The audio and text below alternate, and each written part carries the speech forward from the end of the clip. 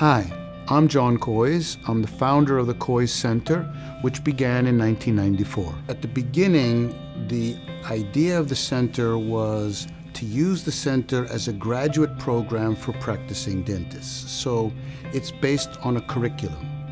And as far as I know, it's one of the only teaching centers in the world that has a full curriculum that's comprehensive in so many different disciplines.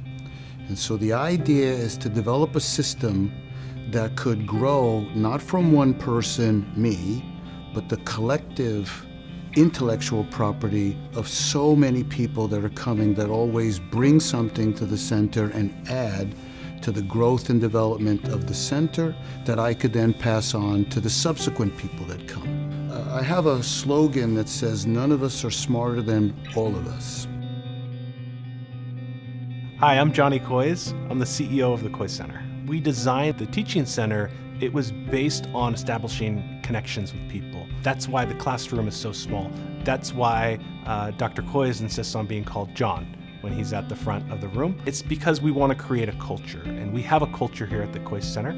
Uh, if you've talked to a dentist that's been here, it's called the Tribe. I know that a lot of dentists end up feeling alone in their own solo practices, and this is a place to feel a sense of community and support. The people that you meet here are some of the smartest people that I've ever met. Plus the dentistry that you're going to learn is the most advanced form of dentistry that you can possibly learn anywhere in the world. Here at the Kois Center in Seattle, one of the things we like to say is uh, what happens in Seattle is not meant to stay at Seattle.